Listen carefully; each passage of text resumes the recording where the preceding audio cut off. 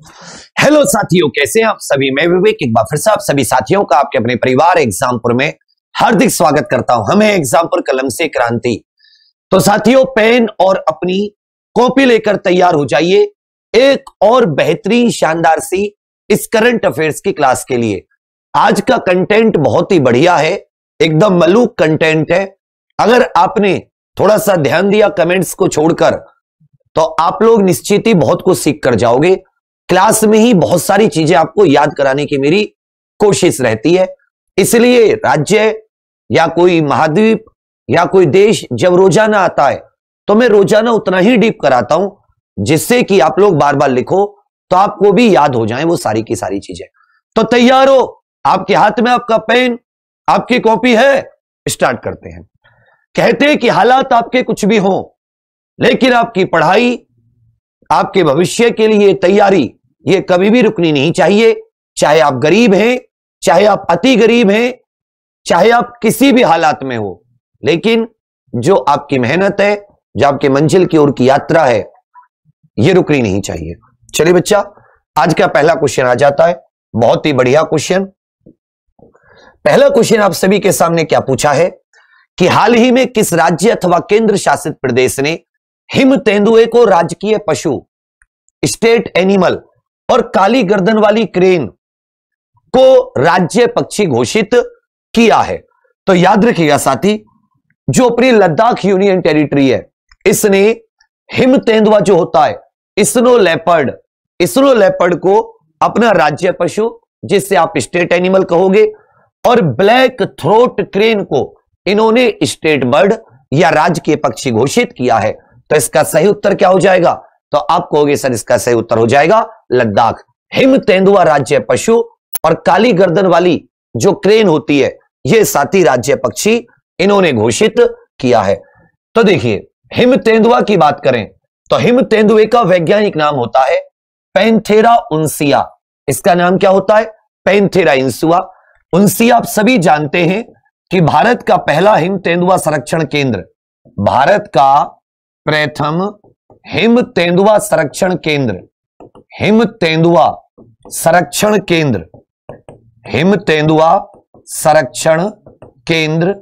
यह साथी उत्तराखंड में ओपन हो रहा है। कहाँ पर ओपन हो रहा है? उत्तराखंड में यूएनडीपी की सहायता से भारत का पहला snow leopard conservation centre Uttarakhand. चलिए, सेकंड बात करें हम लोग इसमें।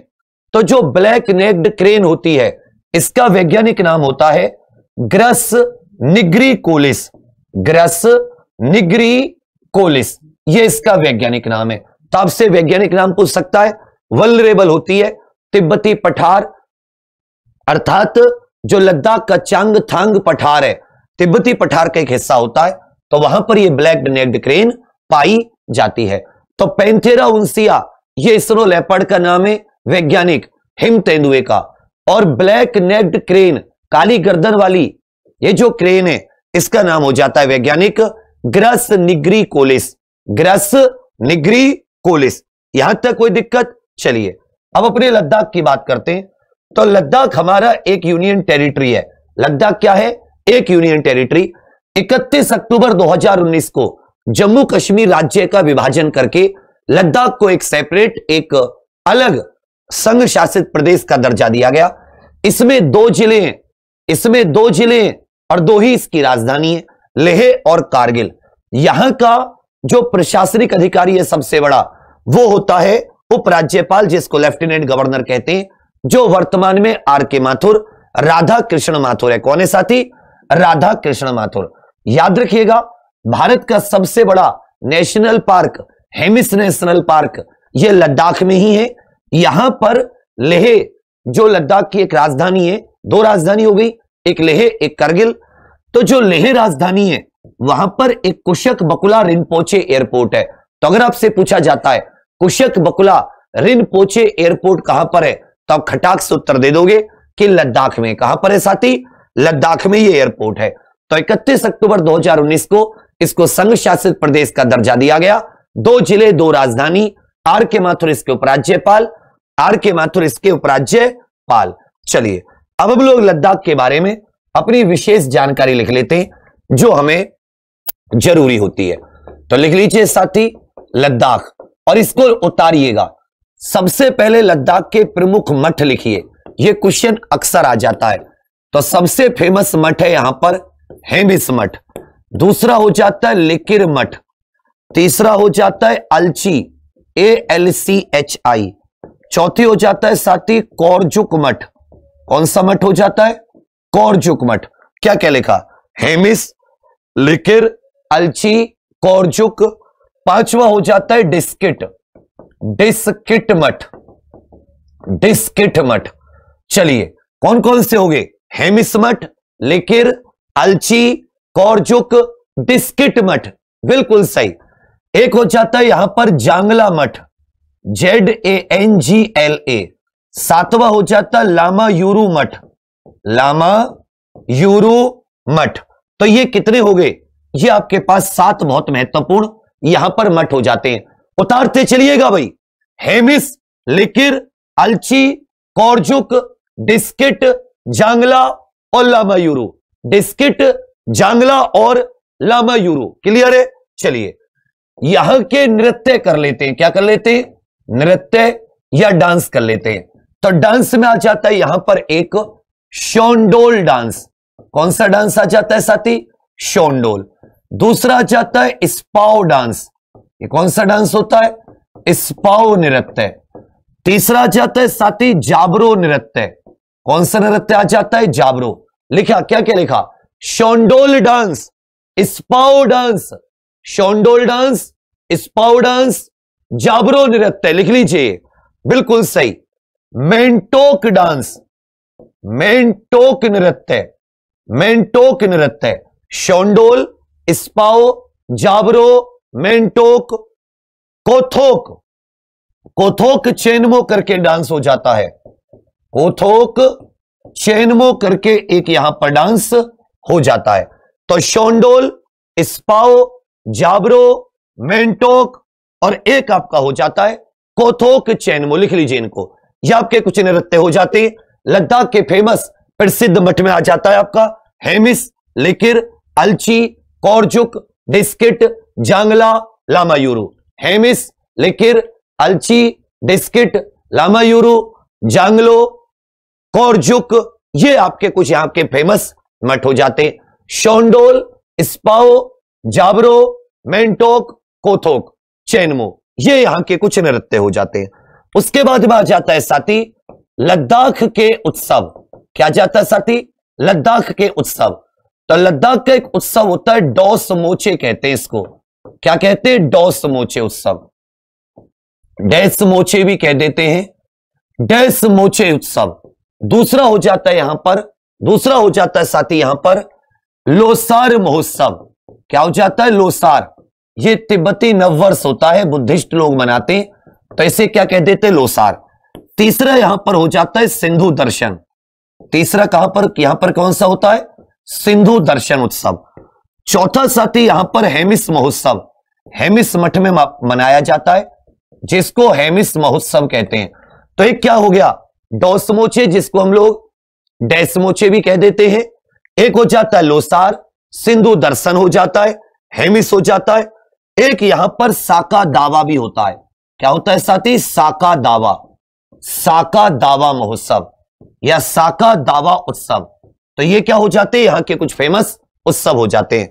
Dosmoche D O S Dosmoche D O S M O C H E, Losar, Sindhu Darshan, Hemis, बिल्कुल सही। हेमिस, साका दावा और टक टोक और कर लीजिए। टक टोक उत्सव। टक टोक उत्सव। यह भी पूछ सकता है आपसे। तो छह यहाँ के प्रमुख उत्सव हो जाते हैं। डोसमोचे लोसार, सिंधु दर्शन, हेमिस साका दावा और टक टोक टक टोक उत्सव। ये यहाँ के साथ ही कुछ फ़ेमस उत्सव हो जाते हैं। याद रखिएगा, सबसे अधिक ऊंचाई पर स्थित, सबसे अधिक ऊंचाई पर स्थित, सबसे अधिक ऊंचाई पर स्थित ऊंचाई पर स्थित मोटोरेबल रोड, जहाँ पर आप वाहन चला सकते हैं। वो लद्दाख में ही है मोटोरेबल रोड। और हमारी जो भारतीय वायुसेना है, इसने सबसे ऊंचाई पर एयर ट्रैफ़िक कंट्रोल जहाँ से करते हैं, सबसे ऊंचाई पर स्थित एटीसी टावर लगाया है। क्या लगाया है? एटीसी टावर ये लद्दाख में लगाया है। तो सबसे अधिक ऊंचाई पर स्थित मोटोरेबल रोड और हमारी जो भारतीय वायुसेना है, इसने सबसे ऊंचाई पर एटीसी टावर भी कहाँ पर लगाया है? ये एटीसी टावर भी साथी लद्दाख में ही लगाया गया है। ये एटीसी टावर कहाँ पे लगा गया है? लद्दाख में। याद रखिएगा, यहाँ पर दो रामसर स्थल हैं। यहाँ पर क्या है दो? रामसर साइट जिन्हें बोलते हैं। आप ये कह सकते हैं, अंतरराष्ट्रीय महत्व की आर्द्र भूमि है। क्या है आर्द्र भूमि पहली है सो मोरोरी। कौन सी आ जाती है? सो मोरोरी झील।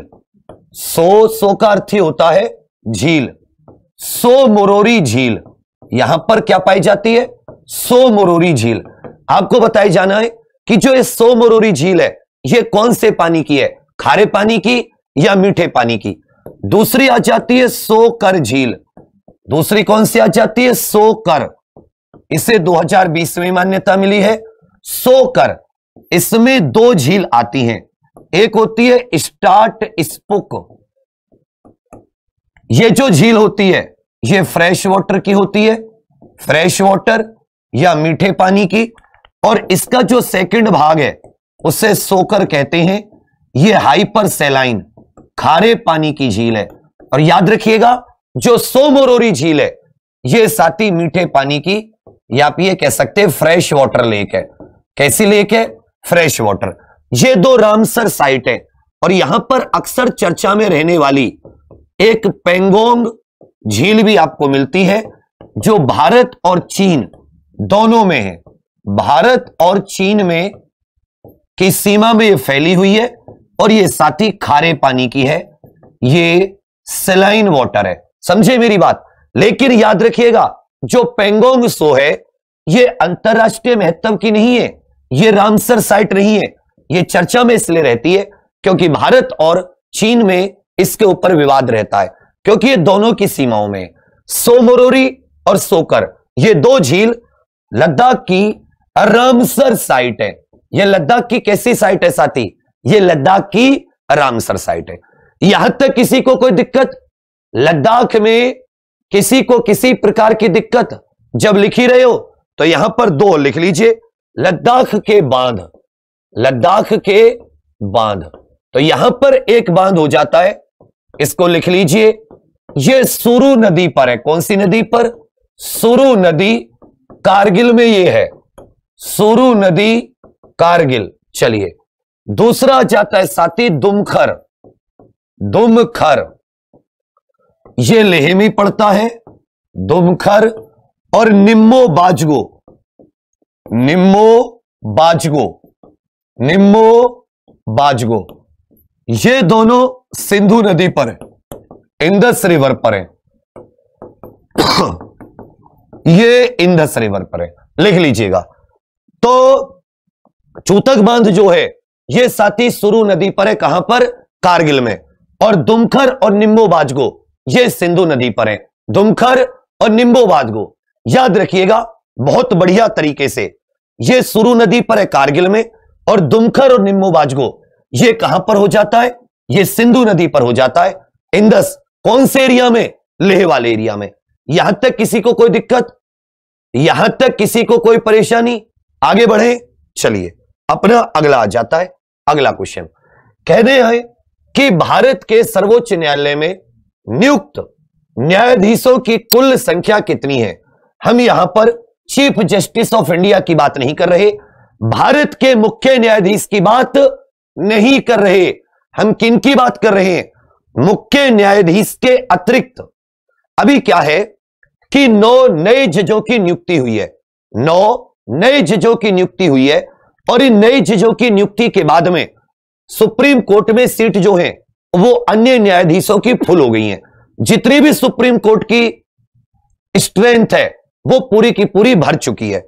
तो याद रखिएगा, कितना उत्तर आ जाएगा इसका? तैतीस। कितना उत्तर आ जाएगा इसका? तैतीस। इसका सही उत्तर है कि भारत के सर्वोच्च न्यायालय में नियुक्त न्यायाधीशों की कुल संख्या कितनी है? समझे मेरी बात? बिल्कुल सही। कितनी है साथी?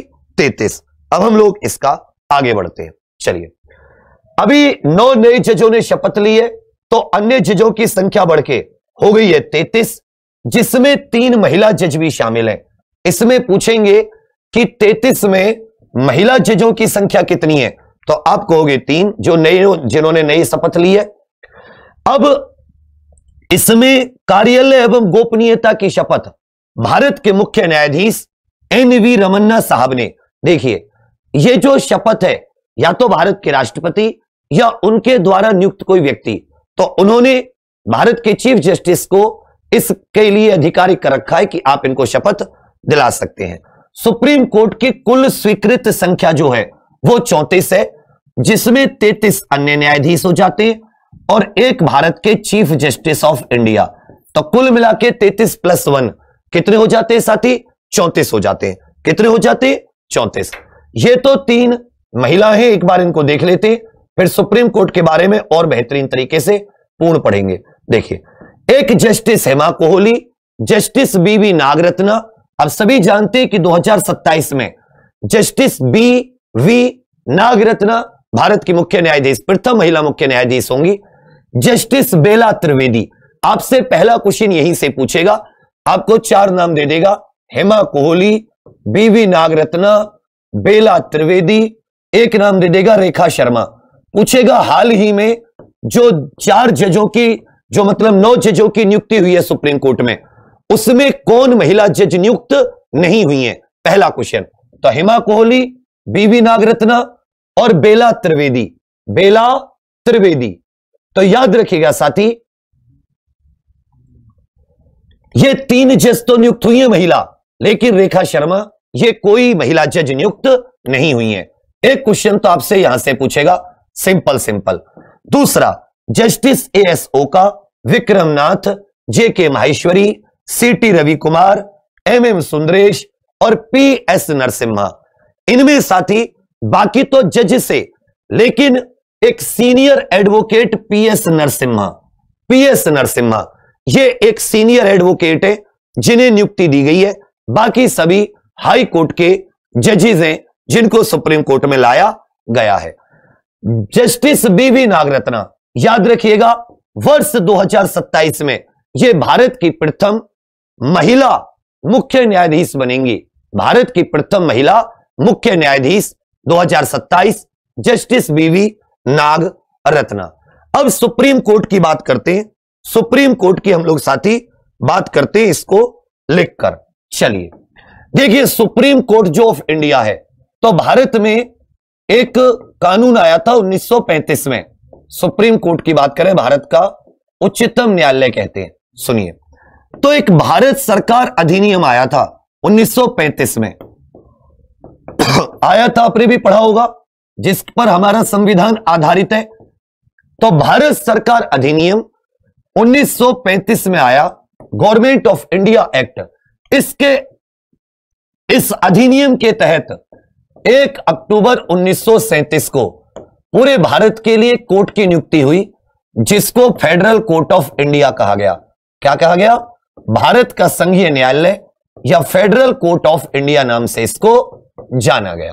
Federal court of India. Bharat आज़ाद हो जाता है, हमारा संविधान लागू हो जाता है। संविधान लागू होने के दो दिन बाद, साथ ही अट्ठाईस जनवरी, संविधान लागू होने के दो दिन बाद 28 जनवरी 1950 से 28 जनवरी 1950 को यही फेडरल कोर्ट ऑफ़ इंडिया जो है, इसका गठन सुप्रीम कोर्ट ऑफ़ इंडिया नाम से कर दिया जाता है। तो सुप्रीम कोर्ट ऑफ़ इंडिया या भारत के उच्चतम न्यायालय का गठन हो जाता है। तो कोई पूछे, भारत के उच्चतम न्यायालय का गठन कब हुआ? तो 28 जनवरी 1950 यतो धर्म स्तो जय, यतो धर्म स्तो जय। ये क्या हो जाता है साथी इसका मोटो हो जाता है 28 जनवरी 1950 अगर आप संविधान में देखोगे कि संविधान में शुरुआत में, याद रखिएगा, सुप्रीम कोर्ट में कुल जजों की संख्या जो थी, कुल जजों की संख्या तो कुल जजों की संख्या साथ ही सात थी। जब ये 26 जनवरी 1950 को हमारा संविधान लागू हुआ था तो कितनी संख्या थी? सात थी। आज भी अगर आप संविधान में देखोगे तो ये संख्या कितनी लिखी हुई है? सात। एक बार क्वेश्चन आ चुका है कि हमारे संविधान में सुप्रीम कोर्ट में जजों की संख्या कितनी लिखी हुई है? सात। लेकिन संसद को यह शक्ति दी गई कि संसद इस संख्या को बढ़ा सकती है।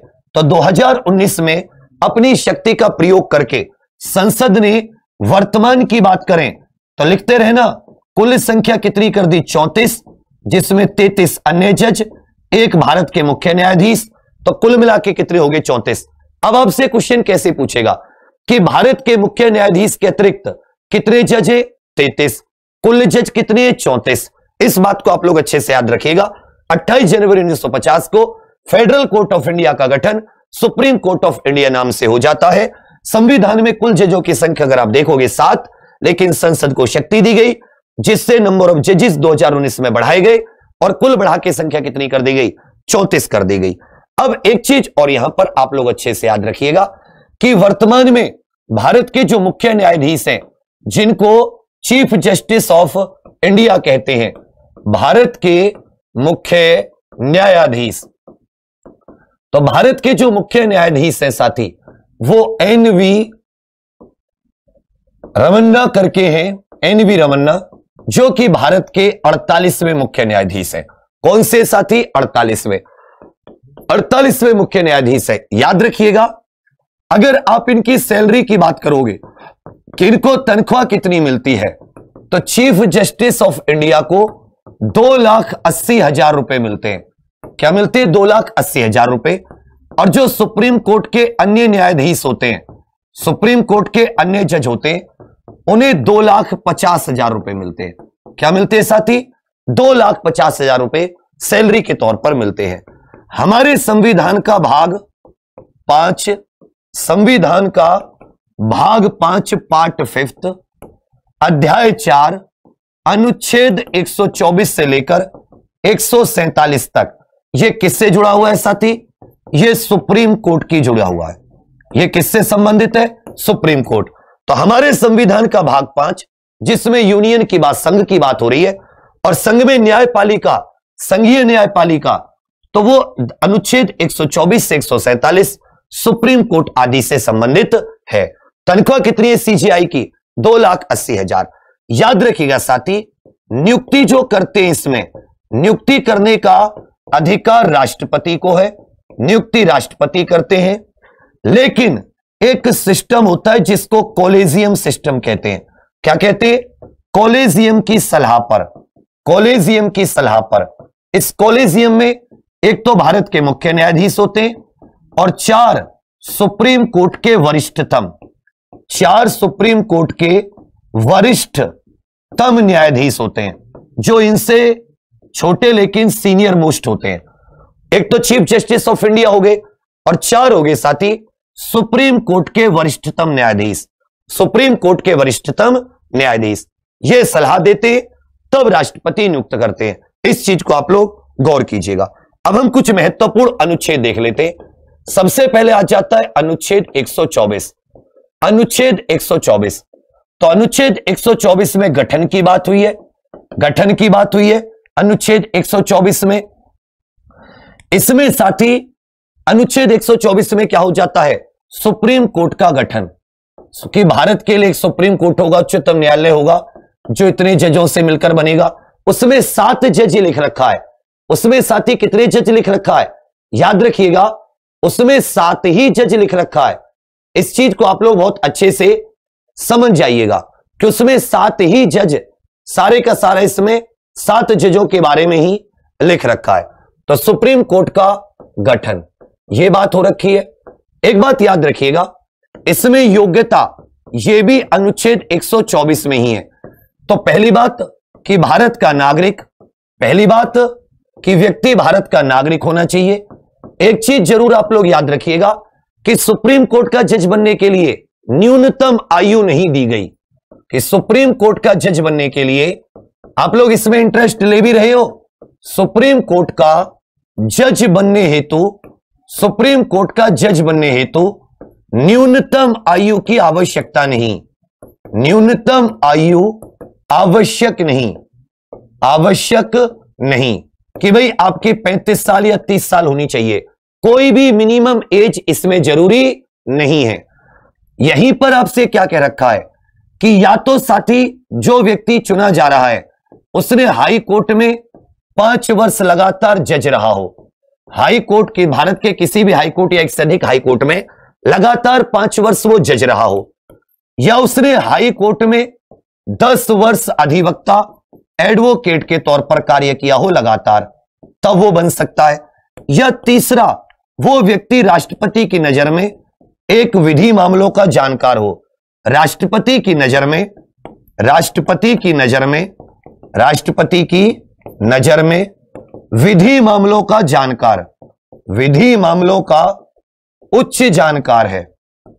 उच्च जानकार। विधि मामलों का उच्च।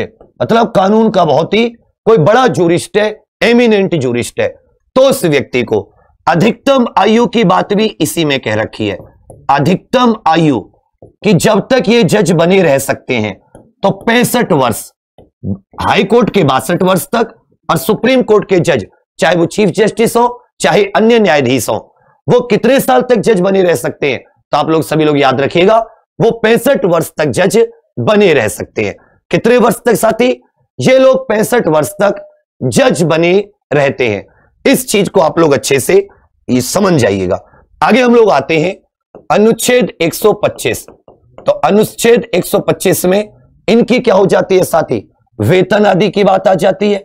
दूसरी अनुसूची के अनुसार जब अनुच्छेद 126 में आ जाएँगे तो इसमें क्या जाते हैं साथी? कार्यकारी मुख्य न्यायाधीश, कार्यकारी मुख्य न्यायाधीश acting chief justice acting chief justice कार्यकारी मुख्य न्यायाधीश। जब 127 में आ जाएँगे आप लोग तो इसमें एड हॉक जज की बात आ जाएगी कि जब कभी कोरम पूरा नहीं होता सुप्रीम कोर्ट में तो हाई कोर्ट से एडहॉक जज, हाई कोर्ट से तदर्थ न्यायाधीश की नियुक्ति की बात आ जाएगी। तदर्थ न्यायाधीश की बात करेंगे यहाँ पर। थोड़ा सा आगे बढ़ेंगे। अनुच्छेद 128 में तो रिटायर्ड सेवानिवृत्त, जो रिटायर्ड हो चुके हैं, अगर ज़रूरत पड़ रही है तो सेवानिवृत्त जो न्यायाधीश हैं, रिटायर्ड न्यायाधीश, उनकी भी सेवाएँ कुछ समय के लिए ली जा सकती हैं। अनुच्छेद एक में supreme court court of record है। अगर कोई आपसे पूछे कि भाई कोर्ट ऑफ़ रिकॉर्ड क्या होता है, जरा बताना। मैंने कहा, supreme court court of record है। तो आप क्या कहोगे कि supreme court court of record? Court of record का अर्थ होता है कि अवमानना अगर कोई इसका आदेश नहीं मानना, आदेश नहीं मानता कंटेम्प्ट करता है कोर्ट ऑफ़ कंटेम्प्ट जिसको बोलते हैं तो अवमानना के लिए दंड देने की शक्ति है। अवमानना के लिए दंड देने की शक्ति कि अगर कोई सुप्रीम कोर्ट की आदेश की अवहेलना करता, उसको नहीं मानता, चाहे वो कोई भी अधिकारी हो भारत का तो उसे सुप्रीम कोर्ट दंड दे सकता है कोर्ट ऑफ़ कंटेम्प्ट के लिए। तो जिस कोर्ट को कोर्ट ऑफ़ कंटेम्प्ट के लिए अवमानना के लिए दंड देने की शक्ति होती है, ऐसे कोर्ट को कोर्ट ऑफ़ रिकॉर्ड कहा जाता है।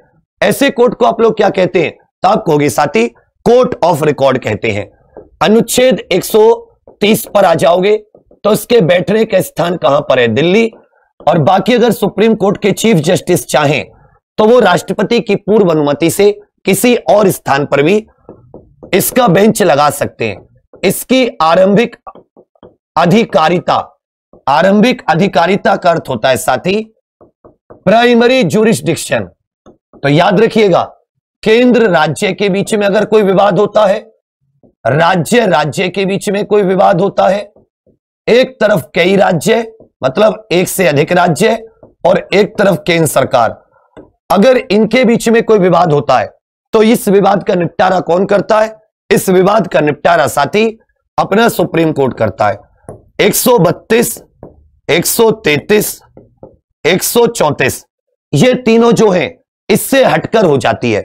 133 में अगर आप मुख्य तौर पर देखोगे तो सिविल मामलों में अपील कर सकते हैं आप, हाई कोर्ट के मामलों के खिलाफ सिविल मामलों में अपील कर सकते हैं। अनुच्छेद 134 की बात करेंगे। डांडिक मामलों में, डांडिक मामलों में और 132 में भी अपील होती है, जहाँ पर कोई विधि का प्रश्न होता है। विधि का प्रश्न है तो जो अपना हाई कोर्ट है, वही मामले को सुप्रीम कोर्ट भेज देता है। और यहाँ पर हाईकोर्ट के मामलों के खिलाफ अपील की जाती है। क्या की जाती है? साथी, अपील की जाती है। इसके बाद में अपना आ जाता है साथी 136 135 नहीं करेंगे। इसमें आपका एसएलपी स्पेशल लीव पटिशन आ जाती है। क्या जाती है साथी?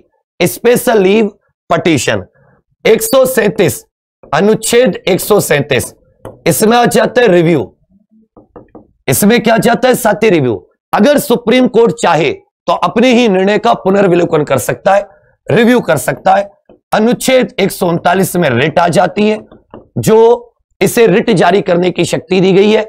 तो रिट जारी करने की शक्ति इसको यहीं से मिली है। आगे अनुच्छेद 141 आ जाता है। अनुच्छेद 141 में सिंपल है कि इसके जो आदेश हैं, वो सभी कोर्ट पर लागू होते हैं। सभी न्यायालयों पर, सभी न्यायालयों पर लागू हो जाते अनुच्छेद 142 में मोस्ट इंपॉर्टेंट अनुच्छेद 142 संसद के समान कानून बनाने की शक्ति। संसद के जैसे कानून बनाने की शक्ति अगर कहीं पर विधि का मामला होता है, लॉ का मामला होता है, अनुच्छेद 143 यह हो जाता है साथ इसमें राष्ट्रपति द्वारा सलाहकारी, राष्ट्रपति द्वारा जो किसी मामले पर सलाह ली जाती है, सलाह किसके द्वारा? राष्ट्रपति के द्वारा। राष्ट्रपति के द्वारा, किसी कानून के प्रश्न पर सुप्रीम कोर्ट से सलाह ली जाती है। तो इसको नोट कर लीजिए। 130 में स्थान दिल्ली 131 आरंभिक प्राइमरी जुरिस्डिक्शन या इसका ओरिजिनल जुरिस्डिक्शन भी कहते हैं, जिसके लिए सुप्रीम कोर्ट का गठन हुआ था। तो केंद्र और राज्य, क्योंकि हमारा जो देश है, ये एक अर्ध संघीय ढांचे पर आधारित है। जिसमें केंद्र और राज्य में कुछ ही शक्तियों का बंटवारा है, और केंद्र और राज्य में अगर कोई विवाद होता है तो सुप्रीम कोर्ट उसका निपटारा करता है। 132 अपील हाईकोर्ट आदि भेजते हैं, और यहाँ पर व्यक्ति ये सिविल मामले और दंड मामलों में अपील करता है। 136 स्पेशल लीव पटिशन एक सुप्रीम कोर्ट से परमिशन लेने के बाद में अपील 143 सलाह 142 संसद के समान कानून बनाने की शक्ति 141 आदेश, सभी न्यायालयों पर लागू, एक सौ उनतालीस में रिट एक सौ सैंतीस में रिव्यू तो ये आपका कुछ सुप्रीम कोर्ट से जुड़ी हुई जानकारी है। ये आपका कुछ सुप्रीम कोर्ट से जुड़ी हुई जानकारी है। यहाँ तक किसी को कोई दिक्कत? ये सब आप लोगों ने नोट किया? यस या नो में बताइए। ये सभी आप लोगों ने नोट किया है? अब आराम से सुप्रीम कोर्ट को इसी में से पढ़ लेना। पैंसठ साल उम्र होती है रिटायरमेंट की, लेकिन न्यूनतम मिनिमम एज नहीं होती। जैसे गवर्नर, राष्ट्रपति, उपराष्ट्रपति के लिए इन सब के लिए पैंतीस वर्ष होती है। लेकिन इसके लिए कोई मिनिमम एज नहीं होती। 20 साल 25 साल 30 साल का व्यक्ति भी बन सकता है। अगर बनने की बात है एक बार आप सभी लोगों से एक रिक्वेस्ट है सभी लोग शेयर करके दस हज़ार तो आप लोग ज़रूर पहुँचा दें। अगर आपको कंटेंट और चीज़ों में आनंद आ रहा हो तो, तो बाकी सारी चीज़ें तो यही सब लिखा हुआ है। अगला क्वेश्चन आ जाता है आपका कि भारत का पहला राज्य जो अपने सभी राज्य के लोगों को मुफ़्त पानी। अभी जब सरकार पानी मुहैया कराती है तो इसको कहते हैं वाटर कनेक्शन देती है। वाटर कनेक्शन में आप जितना जल खर्च करते हैं, उसका आपको पैसा देना पड़ता है। कुछ जगह दिल्ली आदि में कुछ मतलब कुछ लीटर तक मुफ़्त भी दे दिया जाता है। तो भारत का पहला राज्य जो लोगों को मुफ़्त पानी दे रहा है, और इसमें सोलह हज़ार लीटर तक मुफ़्त पानी उपलब्ध कराने की बात है। यह वो राज्य भी है जो रेबीज फ्री है भारत का पहला राज्य है जहाँ पर कुत्ते के काटने से रेबीज नहीं है। तीसरी चीज़ यह वो राज्य भी है जिसने जल जीवन मिशन का टारगेट सबसे पहले पूरा किया है। तो याद रखिएगा साथी, गोवा कौन सा राज्य है? ये अपना गोवा। तो गोवा अपने सभी राज्य के लोगों को मुफ़्त पानी उपलब्ध कराने वाला पहला देश बन गया है। अब समझिए, इसके लिए इन्होंने मुफ़्त पानी बचाओ योजना भी इन्होंने, पानी बचाओ योजना भी शुरू की है कि पानी ज़्यादा होगा तो फिर मुफ़्त पानी देने में कोई परेशानी नहीं आएगी। सोलह हज़ार लीटर तक की, लीटर तक की खपत के लिए घरों से कोई शुल्क नहीं लिया जाएगा। अब आ जाता है। याद रखिएगा, जल जीवन मिशन। 2019 में केंद्र सरकार ने लॉन्च किया। 55 लीटर प्रति व्यक्ति। इस आंकड़े को याद कर लीजिएगा। आज ऐसे आंकड़े दूँगा। लेखपाल में अगर वो क्वेश्चन ना आए तो आके बता देना। पचपन लीटर प्रति व्यक्ति प्रतिदिन पचपन लीटर प्रति व्यक्ति प्रतिदिन नल से जल, नल से जल। ग्रामीण इलाकों के लिए यह टारगेट सरकार ने रखा था और कब तक? 2024 तक। तो इसको सबसे पहले प्राप्त करने वाला 2024 से पहले इसने प्राप्त कर लिया यह गोवा ही था। जिसने जल जीवन मिशन के टारगेट को पूरा किया है। जल जीवन मिशन के टारगेट को इन्होंने पूरा किया है। 55 लीटर प्रति व्यक्ति प्रतिदिन स्वच्छ पानी नल से, जो टैप वाटर होता है। 2019 से में ये जल जीवन मिशन शुरू हुआ था। उसके बाद में बात करें, चलिए। गोवा ने और भी कई काम किए, जिसमें हम लोग लिखे। तो गोवा ने क्या किया? गोवा की बात कर लेते हैं कि गोवा ने साथी, रेबीज फ्री भी है। रेबीज फ्री होने वाला पहला राज्य है। रेबीज मुक्त होने वाला प्रथम राज्य है। रेबीज मुक्त होने वाला, आप ये कह सकते हैं, प्रथम राज्य चलिए, मरीन क्लस्टर, भारत का प्रथम मरीन क्लस्टर जिसको कहते हैं, जहाँ पर समुद्र से जो उत्पाद होते हैं, उनको बनाने वाली या उनसे संबंधित कंपनी मरीन क्लस्टर पहली बार यहीं पर हुआ है। जबकि अंतरराष्ट्रीय गुजरात के गिफ्ट सिटी में। अगर भारत के पहले मरीन क्लस्टर की बात करें तो कहाँ पर है गोवा में? कहाँ पर है साथी? गोवा में। चलिए, अरे सबके लिए आएगा ग्रुप डी भाई गगन यादव, तुम बाबली पूछो बाबू। अरे करंट अफेयर सब में आता है। मैं तो एक मतलब आंकड़ों की बात कर रहा हूँ कि आंकड़े किस एग्ज़ाम में ज़्यादा आते हैं। सुनते तो हो नहीं। मेरीन क्लस्टर, भारत का पहला रेत का टीला पार्क। भारत का प्रथम sand dune park. Sand dunes park. Bharat का प्रथम सेंड ड्यून्स पार्क, जिसको रेत का टीला पार्क कहते हैं। क्या कहते हैं साथी? रेत का टीला पार्क या भारत का पहला सेंड ड्यून पार्क। यह भी कहाँ पर है? अपने गोवा में है। चलिए, गोवा की बात करें। राजधानी हो जाती है पणजी। गोवा की राजधानी क्या हो जाती है? पणजी। लिख लीजिएगा, मांडोवी नदी के किनारे। मांडोवी नदी के किनारे। गोवा की सबसे लंबी नदी है, मांडोवी नदी के किनारे यही दूध सागर झरना बनाती है। Governor Bhagat Singh Koshyari, additional charge, chief minister Pramod Sawant, विधानमंडल की 40 सीट, विधानसभा की 40 लोकसभा की दो और राज्यसभा की एक। लोकसभा की दो और राज्यसभा की एक। यहाँ पर दूध सागर झरना, हिवले झरना और हरवेलम झरना, ये यहाँ के प्रमुख झरने हो जाते हैं। तो पणजी क्या हो जाती है इनकी? राजधानी हो जाती है। जो कि कौन सी नदी के किनारे है? मंडोवी नदी के किनारे है। ये अपना गोवा हो जाता है। गोवा के तट को कोंकण तट कहा जाता है। गोवा के तट को क्या कहा जाता है? कोंकण तट कहा जाता है। अब गोवा के बारे में हम लोग और जानकारी लेते हैं। गोवा, समझिए मेरी बात, गोवा के बारे में। याद रखिएगा 1510 में यूसुफ आदिल शाह से बीजापुर का जो सुल्तान था, यूसुफ आदिल शाह से, यूसुफ आदिल शाह से, जो कि कहा था? बीजापुर का राजा था। बीजापुर का सुल्तान। से पुर्तगालियों ने इसे अपने कब्जे में ले लिया, गोवा को। पुर्तगालियों ने कब्जा किया। पुर्तगालियों ने कब्जा किया। और 1510 में, चौदह में पुर्तगाली पहली बार आए थे। भाई वास्को डिगामा पुर्तगाल का था ना? चौदह सौ अठानवे में पहली बार केरल आया था। केरल के कालीकट जमूरिन के यहाँ पर। और 1510 होते होते 12 साल के अंदर इन्होंने बीजापुर के यूसुफ आदिल शाह से ये इन्होंने हथिया लिया, कब्जा कर लिया। और 1510 से लेकर 1961 आज़ादी की सबसे पहले पुर्तगाली आए, सबसे बाद में गए 1961 ऑपरेशन विजय। ऑपरेशन विजय के द्वारा, ऑपरेशन विजय के द्वारा फौज भेजकर फौज भेजकर गोवा को स्वतंत्र कराया गया।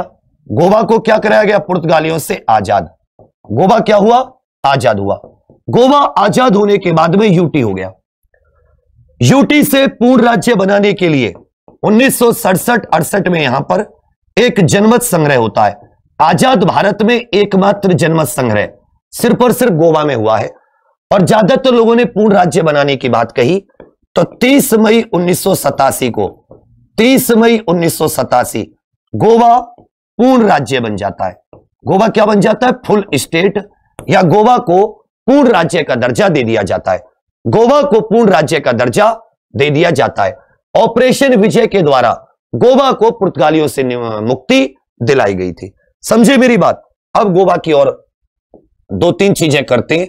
इसमें गोवा का आप लोग सबसे पहले फूल बताइए, गोवा का फल बताइए, गोवा का पक्षी बताइए, गोवा का पशु बताइए। बताइए फटाफट से।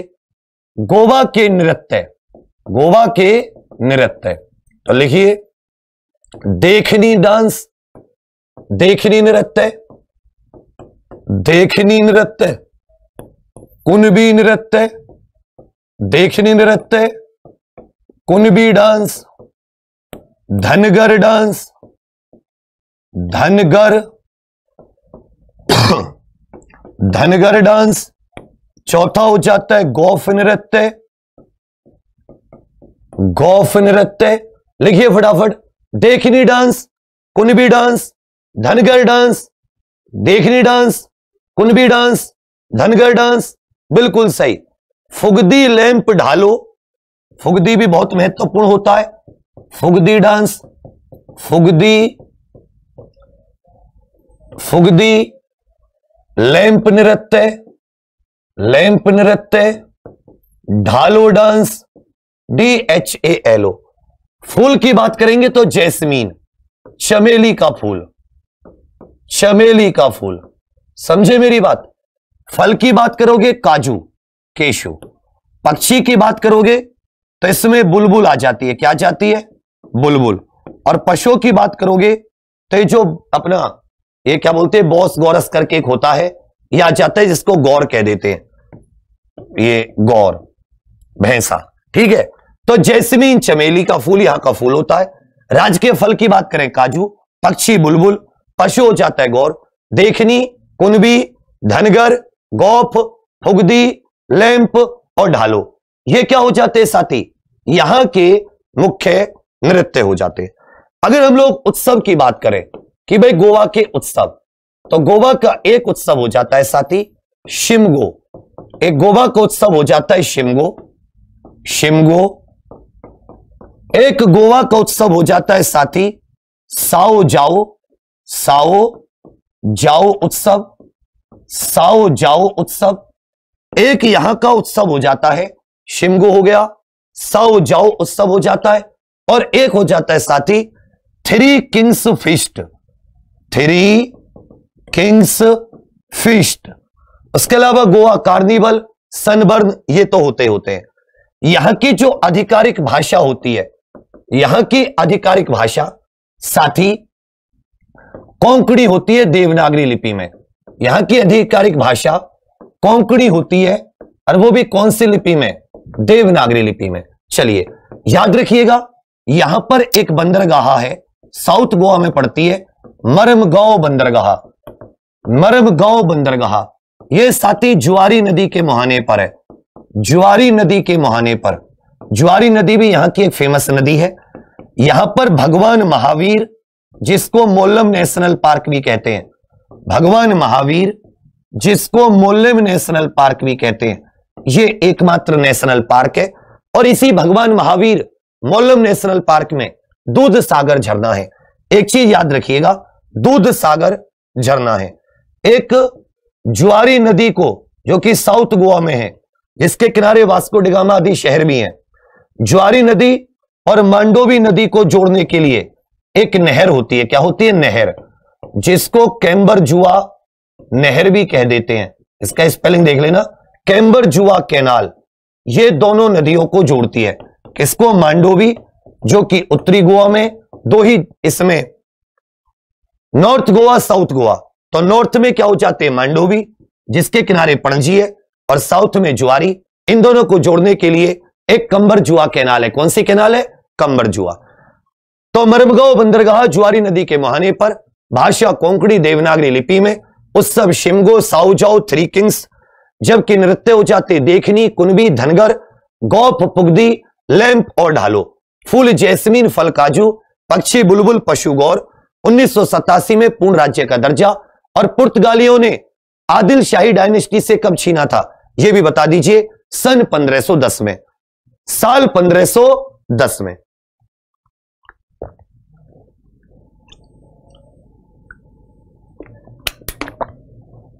यहाँ तक किसी को कोई दिक्कत? यहाँ तक किसी को कोई परेशानी? क्लियर है? चीज़ें आगे बढ़े? चलिए। तो गोवा के बारे में यह सारी जानकारी। अगला क्वेश्चन मोस्ट मोस्ट इंपॉर्टेंट पूरा ध्यान देना साथी, इस क्वेश्चन पर आप लोगों के लिए बहुत इंपॉर्टेंट क्वेश्चन है। देखिए भाई, एक अंतरराष्ट्रीय संस्था होती है जिसको रोबो बैंक कहते हैं। हर साल रोबो बैंक जो डेयरी होती है पूरी दुनिया में जो मिल्क, दूध पर आधारित कंपनी होती है, इनकी एक रैंकिंग निकालती है कि किस कंपनी की औकात कितनी है। तो इसके हिसाब से दुनिया की सबसे बड़ी डेयरी कंपनी कौन सी है? दुनिया की टॉप ट्वेंटी डेयरी कंपनियों में रोबो बैंक के हिसाब से दुनिया की सबसे बड़ी कंपनी कौन सी है? तो याद रखिएगा साथी, ये फ्रांस की कंपनी है लैक्टेलिस दुनिया की सबसे बड़ी दुग्ध कंपनी रोबो बैंक की जो 2021 की ग्लोबल टॉप 20 है, इसमें सबसे बड़ी कंपनी कौन सी है? लैक्टेलिस है। साथ ही अपनी जो अमूल है, उसकी माइनस दो रैंक घट गई है। पहले 16 थी, अब ये अठारहवें नंबर पर है। अपनी जो अमूल है, ये दुनिया में अठारहवें नंबर पर है। इसकी दो रैंक घट गई है। पहले जो इसकी रैंक थी, वो 16 थी। पहले जो इसकी रैंक थी वो 16 थी तो लेटेलिस टॉप 20 डेयरी कंपनियों में सबसे ऊपर है। चलिए बच्चा, अब इसकी बात करते दूध उत्पादन की बात करेंगे कि प्रति व्यक्ति भारत में कितना दूध उपलब्ध है, कौन सा राज्य सबसे ज़्यादा दूध का उत्पादन करता है, भारत में टोटल दूध का उत्पादन 2019-20 में कितना है।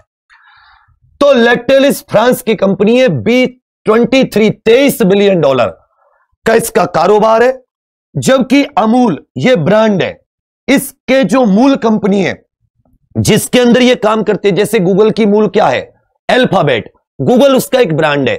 इसी तरीके से Gujarat cooperative milk marketing federation GCMMF ये वो संस्था है, जिसकी ब्रांड है अमूल। अमूल जैसे इसकी कई ब्रांड हो सकती हैं। तो अमूल अठारहवें स्थान पर है। पाँच पॉइंट तीन अरब डॉलर का सालाना कारोबार है। तो यह कंपनी लगभग साढ़े तीन गुना बड़ा है।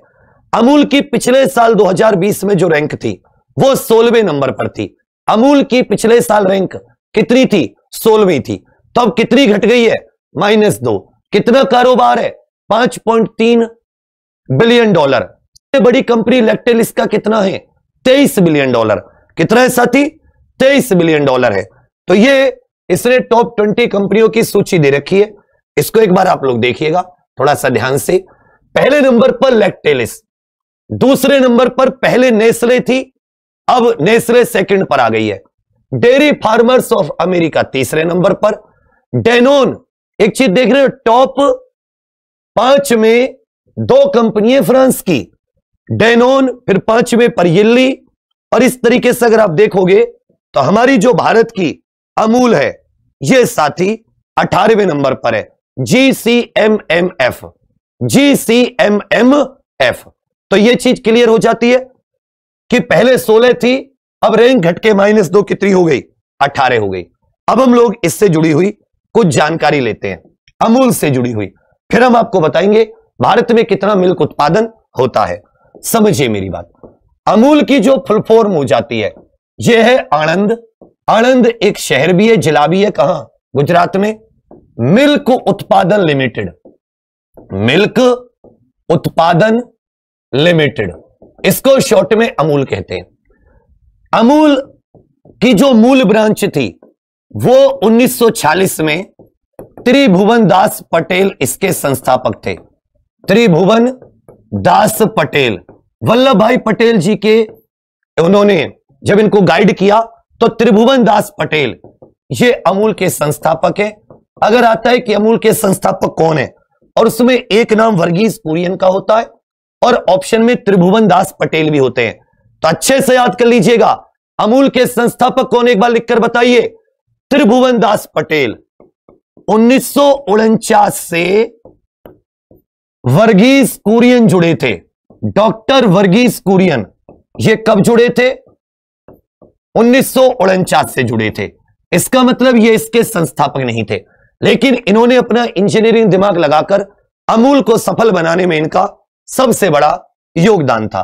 और इसी योगदान को लेकर जब 1965 में 1965 जुलाई 1965 में जब साथी नेशनल डेयरी डेवलपमेंट बोर्ड का गठन हुआ नेशनल डेयरी डेवलपमेंट बोर्ड तो उस समय भारत पाकिस्तान की वार भी चल रही थी और भारत में खाद्यान्न की बहुत ही ज़्यादा कमी हो गई थी। जब ये नारा दिया था जय जवान, जय किसान, तभी हरित क्रांति की भारत में शुरुआत हुई। तो national dairy development board development board, राष्ट्रीय डेयरी विकास बोर्ड भी कहते हैं, एनडीडीबी। इसके प्रथम चेयरमैन, इसके प्रथम चेयरमैन जो नियुक्त किया गया था, वो लाल बहादुर शास्त्री जी के कहने पर डॉक्टर वर्गीस कुरियन को ही इसकी कमान सौंपी गई थी। डॉक्टर वर्गीस कुरियन को ही इसकी कमान सौंपी गई थी। और डॉक्टर वर्गीस कुरियन के नेतृत्व में ही 13 जनवरी 1970 से साथी, operation flood operation flood, Bharat में जिसे श्वेत क्रांति कहते हैं, उसका कोड नेम ऑपरेशन फ्लड था, जिसको आप श्वेत क्रांति कहते हैं, जिसमें दूध का उत्पादन बढ़ाने से संबंधित कार्य किए गए। एनडीडीबी की देखरेख में डॉक्टर वर्गीज कुरियन इसका हेडक्वार्टर आनंद में ही है। गुजरात आनंद में इसका हेडक्वार्टर है, किसका?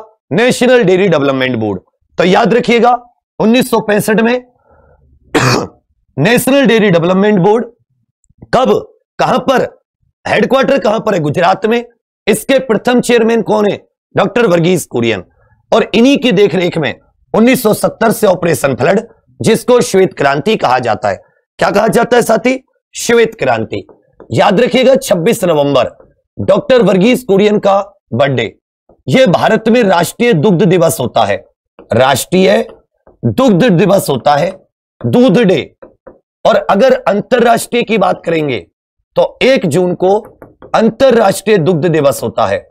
अंतरराष्ट्रीय दुग्ध दिवस हो जाता है। अंतरराष्ट्रीय दुग्ध दिवस। अब अगर हम लोग देखें कि 2019-20 में भारत का जो दूध का उत्पादन था, वो कितना था? तो याद रखिएगा साथी 2019-20 में इकोनॉमिक सर्वे के अनुसार, इसको अंडरलाइन कर लेना। आर्थिक सर्वेक्षण जो आता है हर साल भारत का, आर्थिक सर्वेक्षण के अनुसार इकोनॉमिक सर्वे के अनुसार, भारत में दूध का जो उत्पादन था साथी, बाहर आर्थिक सर्वेक्षण के अनुसार तो दुग्ध उत्पादन दुग्ध उत्पादन में भारत वर्ल्ड में नंबर एक है। दुग्ध उत्पादन एक मिलियन टन था। कितना था साथी? एक मिलियन टन। लिख लीजिए, कितना? एक सौ अट्ठानवे पॉइंट चार सॉरी एक सौ अट्ठानवे एक सौ अट्ठानवे पॉइंट चार, चौरानवे चार आठ बदल गया। तो एक सौ अट्ठानवे पॉइंट चार मिलियन टन था। कितना था साथी? एक सौ अट्ठानवे पॉइंट चार। अर्थात आप ये कह सकते हैं कि पिछले साल से 5.7 परसेंट की वृद्धि। पिछले साल से 2018-19 से 5.7 परसेंट की वृद्धि। और अगर हम ये कहें कि प्रति व्यक्ति दूध की उपलब्धता, ये बहुत इंपॉर्टेंट है पर कैपिटा प्रति व्यक्ति दूध की उपलब्धता, प्रति व्यक्ति हमारे भारत में कितना दूध उपलब्ध है, इसके अनुसार प्रति व्यक्ति हमारे भारत में कितना दूध उपलब्ध है, इसके अनुसार। तो याद रखिएगा साथी 407 ग्राम मोस्ट इंपॉर्टेंट 407 ग्राम। अगर पर कैपिटा दूध की अवेलेबिलिटी देखोगे 407 ग्राम। दुग्ध उत्पादन में भारत कौन से नंबर पर है? पहले नंबर पर। और भारत के राज्य देखोगे तो पहले नंबर पर उत्तर प्रदेश, दूसरे पर राजस्थान। ये भारत के दो टॉप राज्य हैं, जो दूध उत्पादन में सबसे ऊपर है। तो इकोनॉमिक सर्वे के अनुसार, दुग्ध उत्पादन 2019-20 में 2019-20 में जो दूध का उत्पादन रहा है, वो साथी एक मिलियन टन 2018-19 से कितना ऊपर है? 5.7 परसेंट। और प्रति व्यक्ति पर कैपिटा अवेलेबिलिटी ऑफ़ दूध अवेलेबिलिटी ऑफ़ मिल्क कितनी है? तो आप क्या कहोगे? 407 ग्राम। कितना है साथी? 407 ग्राम। यहाँ पे किसी को कोई दिक्कत? यहाँ पे किसी को कोई दिक्कत? यहाँ पे किसी को कोई दिक्कत? क्लियर है? अंतरराष्ट्रीय दूध दिवस एक जून। 26 नवंबर राष्ट्रीय दूध दिवस। भारत में सबसे ज़्यादा दूध का उत्पादन करने वाला राज्य उत्तर प्रदेश, दूसरे नंबर पर राजस्थान। और प्रति व्यक्ति दूध की उपलब्धता 407 ग्राम। यह आंकड़ा लेखपाल के लिए अति महत्वपूर्ण है। लेखपाल के लिए अति महत्वपूर्ण।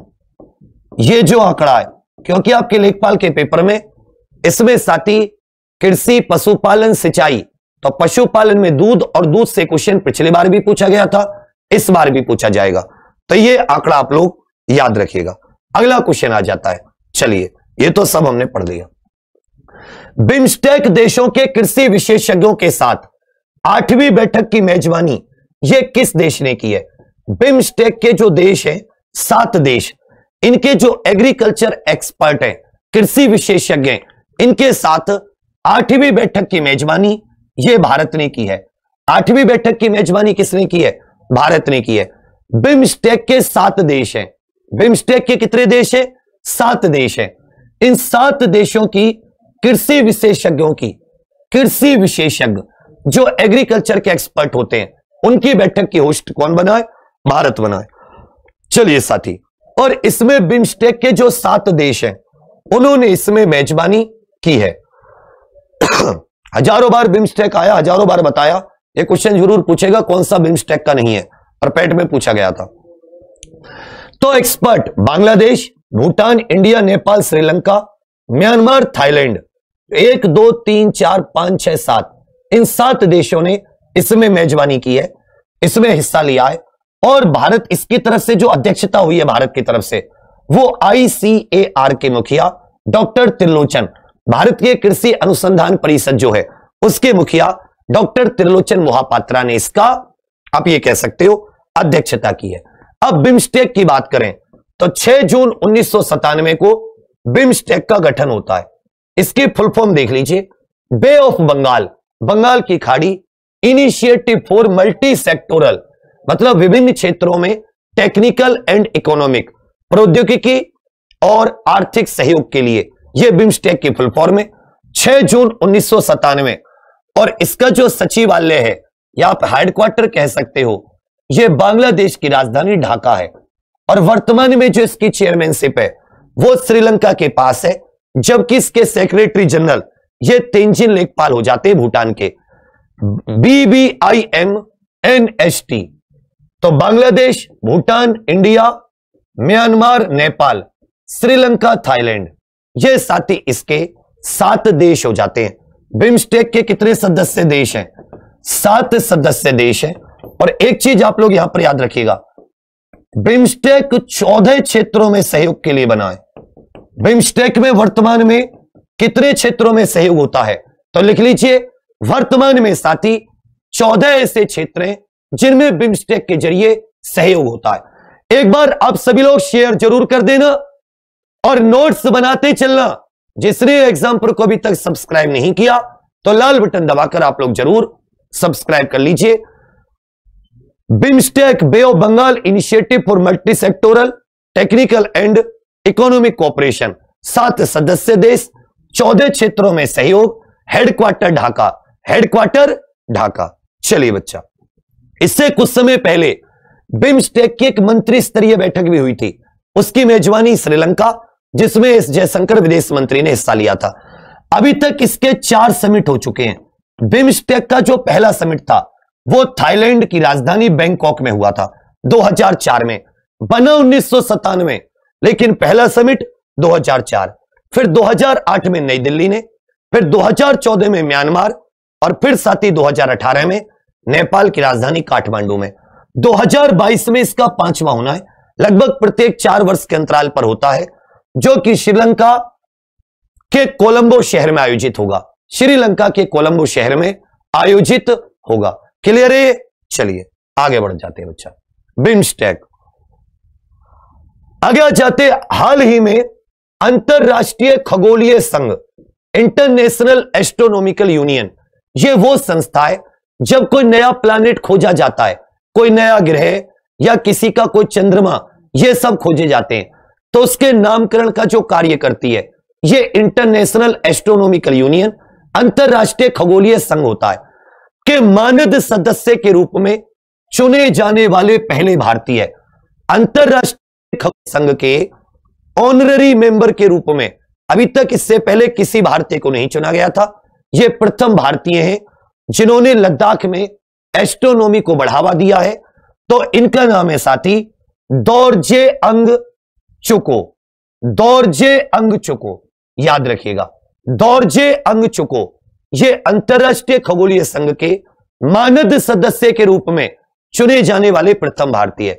जो कौन सा ग्रह, बोना ग्रह है? कौन सा हमारा सौरमंडल का? पहले हमारे सौरमंडल में कितने ग्रह होते थे? नौ। फिर घटा के कितने कर दिए गए? आठ। तो ये किसकी मेहरबानी थी? इंटरनेशनल एस्ट्रोनॉमिकल यूनियन चलिए। दौर्जे अंगचुक का संबंध कहाँ से है? तो केंद्र शासित प्रदेश साथी लद्दाख से है। इन्होंने लद्दाख में एस्ट्रोफोटोग्राफी के माध्यम से ये जो अपने प्लानिट सितारे आदि होते हैं स्टार्स आदि, इनकी फ़ोटो आदि लेकर लद्दाख में खगोल विज्ञान एस्ट्रोनॉमी को बहुत ज़्यादा बढ़ावा दिया है। अब अंतरराष्ट्रीय खगोलीय संघ की बात करेंगे। 28 जुलाई 1919 में इसकी स्थापना हुई। हेडक्वार्टर पेरिस में है। हेडक्वार्टर कहाँ पर है साथी? पेरिस में हो जाता है। याद रखिएगा, यूनेस्को का हेडक्वार्टर भी कहाँ पर है? फ्रांस की राजधानी पेरिस। ओईसीडी का हेडक्वार्टर भी कहाँ पर है? पेरिस। तो अगर आप देखोगे तो यूनेस्को यूनेस्को और ओईसीडी, जो इस संगठन है, इन दोनों का हेडक्वार्टर कहाँ पर हो जाता है? पेरिस। अध्यक्ष Ewine van Dishoeck, Dutch, Netherland के, और जनरल सेक्रेटरी टेरेसा लागू, इसका कोई मतलब नहीं है। 1919 में पेरिस मुख्यालय, इंटरनेशनल एस्ट्रोनॉमिकल यूनियन। इतना आप लोग अच्छे से याद रखिएगा। चलिए, दौरजे आंग चुके। अगला क्वेश्चन आ जाता है। किस देश में छठे पूर्वी आर्थिक मंच सिक्स ईस्टर्न इकोनॉमिक फोरम। यह 2015 में एक संस्था, एक तरीके से एक बैठक आयोजित की गई है कि जो पूर्वी राज्य हैं, जो पूर्वी देश हैं, उनके इकोनॉमी, उनके अर्थव्यवस्था के बारे में डिस्कशन के लिए एक ये ईस्टर्न इकोनॉमिक फोरम आयोजित की जाती है। तो इसके छठे सम्मेलन का आयोजन यह साथी रूस कर रहा है। इसके छठे सम्मेलन का आयोजन कौन कर रहा है? रूस। छठे पूर्वी आर्थिक मंच शिखर सम्मेलन। बहुत अच्छे से याद कर लीजिएगा। छठे पूर्वी आर्थिक मंच शिखर सम्मेलन का आयोजन यह रूस में हो रहा है। तो आपको यह पूरा याद करने की ज़रूरत नहीं होती। आप सिर्फ़ इतना, या शिखर सम्मेलन तक आप इतना कर सकते हो। यही आपके शॉर्ट नोट्स होते हैं। बहुत आसानी से कि पूर्वी आर्थिक मंच शिखर सम्मेलन का आयोजन यह रूस के द्वारा किया जा रहा है। समझिए मेरी बात, कहाँ पर? रूस तेरह अगस्त बारहवीं इंद्र एक्सरसाइज हुई है। क्या हुई है? ट्वेल्थ इंद्र एक्सरसाइज ये रूस में आयोजित हुई है। ट्वेल्थ इंद्र एक्सरसाइज ये कहाँ पर आयोजित हुई है साथी? ये रूस में आयोजित हुई है। ट्वेल्थ इंद्र एक्सरसाइज ये रशिया में आयोजित हुई है। मिखाइल मिशुस्टिन इनके प्रधानमंत्री है। रूबल इसकी मुद्रा, व्लादिमीर पुतिन राष्ट्रपति, मॉस्कावा नदी के किनारे मास्को इसकी राजधानी हो जाती है। यह है एक बार आप लोग इसे देख लीजिएगा। यहाँ पर कामा चटका पठार। यह बहुत ही फ़ेमस कामा चटका पठार है। कामा चटका पठार तीनों ओर से समुद्र से घिरा हुआ। जो हम लोग विलाडी वोस्टोक की बात कर रहे थे, हम लोग जो विलाडी वोस्टोक की बात कर रहे थे, यहाँ पर यह विलाडी वोस्टोक है और यहाँ पर यह जापान आ जाता है। समझे मेरी बात? यहीं पर विलाडी वोस्टोक को जोड़ने वाली ट्रांस साइबेरियन रेलवे लाइन दुनिया की एक ही देश के अंदर दुनिया की सबसे लंबी रेलवे लाइन, वो रूस में स्थित है। यहीं पर लड़ोगा झील, ओनेगा झील, लड़ोगा, ओनेगा झील, एशिया की सबसे गहरी है दुनिया की सबसे गहरी, ये बेकाल झील बेकाल झील, रूस जो है, ये दो महाद्वीप में फैला है। ये साथी यूराल पर्वत जो है यूराल पर्वत के इधर एशिया आ जाता है, ये साइबेरिया वाला हिस्सा, और इसके इधर यूरोप आ जाता है। यूरोप का सबसे बड़ा देश रूस को ही कहा जाता है। यहाँ पर माउंट एलब्रुस है, जो रूस का सबसे ऊँचा और यूरोप का सबसे ऊँचा पर्वत है। यहीं पर आप देखोगे तो ये कैस्पियन सागर है, जिसमें साथी ये वोल्गोग्राड यहाँ पर वोल्गा नदी, यूरोप की सबसे लंबी नदी, यूरोप की सबसे लंबी नदी। तो ये लोग आप लोग अच्छे से याद करके चलिएगा। Arctic missile.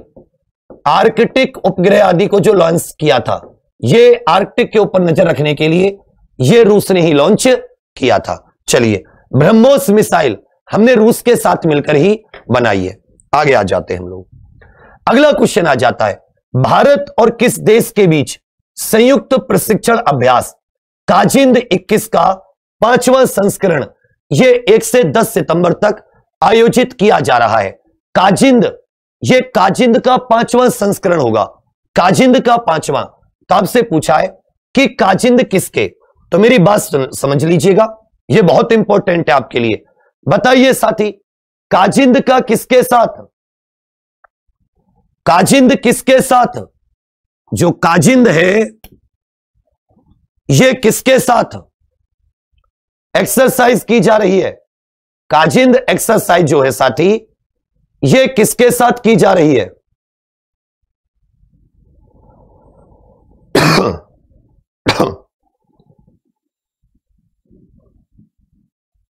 बिल्कुल सही।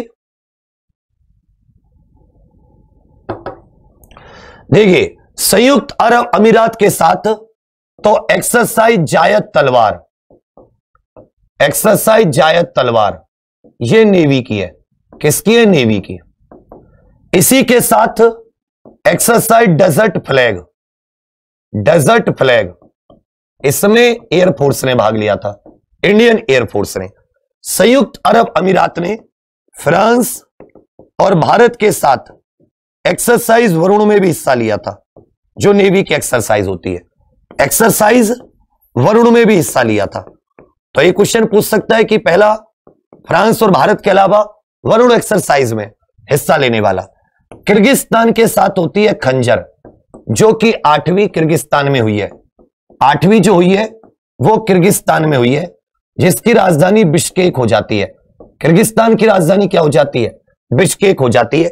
खंजर आठ। तो याद रखिएगा, ये जो काजिंद है, ये साथी किसके साथ होती है? कजाकिस्तान के साथ होती है। किसके साथ होती है? कजाकिस्तान। तो खंजर आठ। ये किर्गिस्तान बिश्केक में आयोजित हुई है। संयुक्त अरब अमीरात के साथ जैद तलवार डेजर्ट फ्लैग इसी के साथ यूएई ने फ्रांस और भारत के एक्सरसाइज वरुण में हिस्सा लिया है। किसमें लिया है साथी? एक्सरसाइज वरुण में हिस्सा लिया है, जो कि नेवी की एक्सरसाइज हो जाती है। आगे इसमें बात करेंगे, ये कजाकिस्तान में ही आयोजित हो रही है। ये कहाँ पर आयोजित हो रही है? कजाकिस्तान में, जिसमें बिहार रेजिमेंट भाग ले रही है। बिहार रेजिमेंट और ये कौन सा है साथी याद रखिएगा पांचवा वर्जन है। ये कौन सा वर्जन है? पांचवा। जबकि खंजर का आठवां। खंजर का आठवां। चलिए साथियों, कजाकिस्तान की राजधानी नूर सुल्तान, मुद्रा हो जाती है टेंगे। मुद्रा क्या हो जाती है? टेंगे। नूर सुल्तान इनकी राजधानी है और मुद्रा क्या हो जाती है? टेंगे। नूर सुल्तान का पुराना नाम अस्ताना हुआ करता था, जिसमें इसका नाम बदल के नूर सुल्तान कर दिया गया, कजाकिस्तान। कजाकिस्तान का मैप देख लीजिए। ये मध्य एशिया, सेंट्रल एशिया के पाँच देश आपको दिखाई दे रहे हैं। ये हो जाता है कजाकिस्तान। ये क्या हो जाता है? कजाकिस्तान। यहाँ पर किर्गिस्तान हो जाता है, जिसकी राजधानी बिश्केक हो जाती है। इधर देखोगे तजाकिस्तान। तजाकिस्तान, जिसकी राजधानी दुशानबे हो जाती है। क्या हो जाती है साथी? दुशानबे इसकी राजधानी हो जाती है, तजाकिस्तान। इधर देखोगे उज्बेकिस्तान। उज्बेकिस्तान, जिसकी राजधानी ताशकंद हो जाती है। इसकी राजधानी क्या है? ताशकंद। इसकी राजधानी क्या है? साथी ताशकंद। इधर हो जाती है तुर्कमेनिस्तान।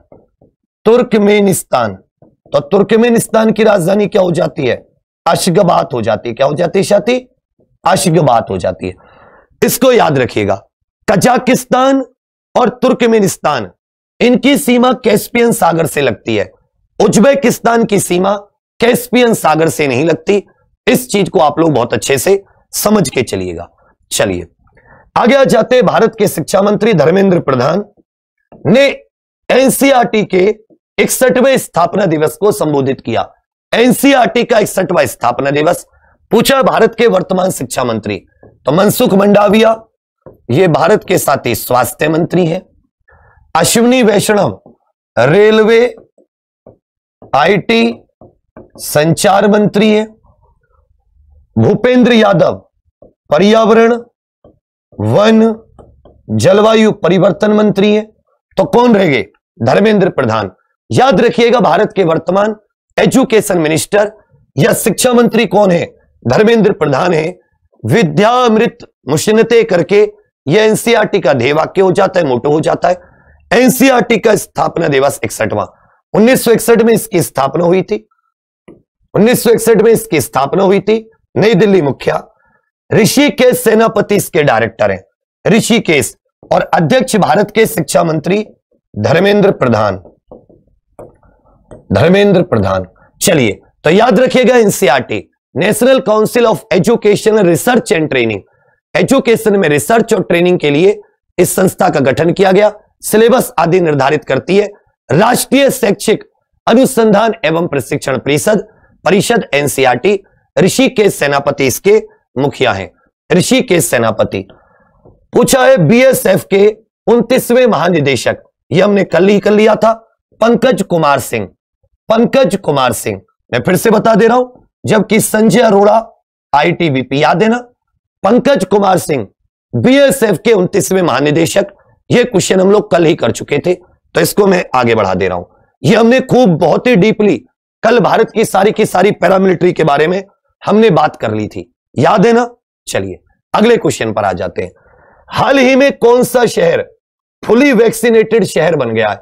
या देश का पहला जिला जिसने कोविड 19 वैक्सीन की पहली खुराक के साथ 100 percent first dose 100 percent first dose 100 percent first dose. समझे मेरी बात?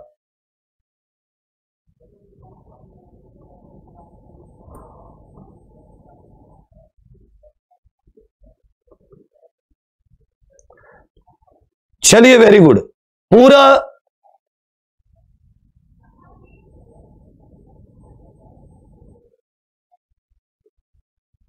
अब इसमें क्या है ना? इसमें कई सारी चीज़ें इसमें अलग अलग इसमें दे रखे हैं। जैसे केरल का वायनाड भी है अपना नोएडा भी है। तो इसमें अब हर अलग अलग तरीके से क्वेश्चन जैसे इसमें क्या है? अब इन्होंने क्या दिया है? इंडिया बिक, Indore become first district in country to administer first dose to all eligible beneficiary तो इसी हिसाब से ले लो जब सारी वैक्सीनेशन हो जाएगी तब इस क्वेश्चन को एक बार और देख लेंगे। जैसे अखबार में क्वेश्चन बना रखा है वैसे हमने बनाया। तो भारत का सबसे स्वच्छ शहर और मध्य प्रदेश का सबसे बड़ा इंदौर। ये ऐसा शहर बना है जिसने कोविड 19 वैक्सीन की पहली खुराक जितने बेनिफिशरी हैं, उन सबको पहुँचा दी है। उन सबको पहुँचा दी है। समझे मेरी बात? जबकि भुवनेश्वर 100 परसेंट आबादी का टीकाकरण करने वाला भारत का पहला शहर, लद्दाख 100 परसेंट वैक्सीनेशन। ये हो जाता है पहला यूटी। क्या हो जाता है? पहला यूटी, लद्दाख। चलिए, आगे बढ़ते हैं। काजीरंगा नेशनल पार्क का काफ़ी हिस्सा यह डूब चुका है। तो वहीं से क्वेश्चन बना है कि हाल ही में खबरों में रहे काजीरंगा नेशनल पार्क यह कहाँ पर स्थित है? तो याद रखिएगा साथी, काजीरंगा नेशनल पार्क यह भारत के असम राज्य में स्थित है। काजीरंगा नेशनल पार्क भारत के असम राज्य में देखो, जहाँ पर हमें बहुत ज़्यादा करने की ज़रूरत है, बहुत ज़्यादा कर लेंगे।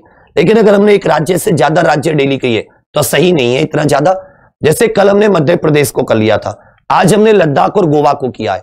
तो ऐसे हम लोग एक एक दो दो राज्य डेली करेंगे तो एक महीने में हमारे सारे राज्य कवर हो जाएँगे। समझे मेरी बात? तो काजीरंगा नेशनल पार्क, ये साथी असम में है। मध्य प्रदेश के दस नेशनल पार्क हमने कल पढ़े थे। समझे मेरी बात? तो असम में है, काजीरंगा नेशनल पार्क, इसका सत्तर प्रतिशत क्षेत्र ये बाढ़ में डूब गया है। यूनेस्को वर्ल्ड हेरिटेज साइट है एक सिंह वाले गैंडे के लिए ये जाना जाता है। सत्तर परसेंट हिस्सा इसका पानी में डूब गया है और 1985 से ये यूनेस्को का विश्व धरोहर स्थल है। ये यूनेस्को का क्या है साथी? विश्व धरोहर स्थल हो जाता है काजीरंगा नेशनल पार्क। आगे आ जाते हैं। ई कचरे जो ई वेस्ट होता है, इससे निपटने के लिए किस संस्थान द्वारा डिजिटल प्लेटफॉर्म ई सोर्स बनाया जा रहा है? ई सोर्स विकसित किया जा रहा है। डिजिटल कचरा। डिजिटल कचरा, ई कचरे की समस्या से निपटने के लिए किस संस्थान द्वारा डिजिटल प्लेटफॉर्म ई सोर्स इसी तरह साथ याद रखिएगा, जो ये इलेक्ट्रॉनिक कचरा होता है, इसके लिए भारत का पहला क्लिनिक, इलेक्ट्रॉनिक कचरे के लिए भारत का पहला क्लिनिक यह मध्य प्रदेश की राजधानी भोपाल में खुला था। यह मध्य प्रदेश की राजधानी भोपाल में खुला था। तो आईआईटी मद्रास आईआईटी मद्रास जो है साथी, याद रखिएगा, ये एक ई सोर्स नाम का प्लेटफॉर्म विकसित कर रहा है, जिसका मौलिक मूल उद्देश्य है, ये डिजिटल कचरे का निपटान करता है।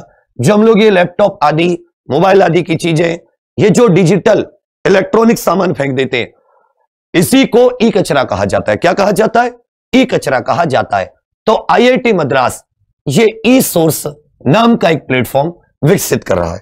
चलिए, आगे आ जाते हैं साथी। भारतीय पैरा एथलीट, इस बार पैरा एथलीट्स ने कमाल कर दिया, दस मेडल। तो उसमें पूछा है कि टोक्यो 2020 पैरालंपिक्स, मरियप्पन थंगावेलू, इन्होंने कौन से खेल में साथी रजत पदक जीता है सिल्वर मेडल जीता है तो याद रखिएगा, हाई जंप, ऊँची कूद, मरियप्पन थंगावेलू, इन्होंने साथी टोक्यो 2020 पैरालंपिक्स में, ऊँची कूद में इन्होंने यह मेडल जीता है। मरियप्पन थंगावेलू। मरियप्पन थंगावेलू ने टोक्यो 2020 पैरालंपिक में यह साथी ऊँची कूद में रजत पदक या सिल्वर मेडल जीता है। मरियप्पन थंगावेलू। दस खिलाड़ी मतलब दस हमारे पास पदक आए। दो गोल्ड, पाँच सिल्वर, तीन ब्रॉन्ज। दो, पाँच, तीन। तो आप ये कह सकते गोल्ड और सिल्वर जोड़ा। गोल्ड और ब्रॉन्ज जोड़ा तो आपको सिल्वर मिला। दो और तीन, पाँच। तो दो, पाँच, तीन। गोल्ड की बात करें, सुमित, अंटिल, हरियाणा, जेवलिन, भाला फेंक और अवनी, लखेरा, शूटिंग राजस्थान। चलिए, सिल्वर की बात करें, Bhavina Patel, table tennis, Gujarat, Nishad Kumar, high jump, Himachal Pradesh, Sumit, Antil, Avani, Lekhara.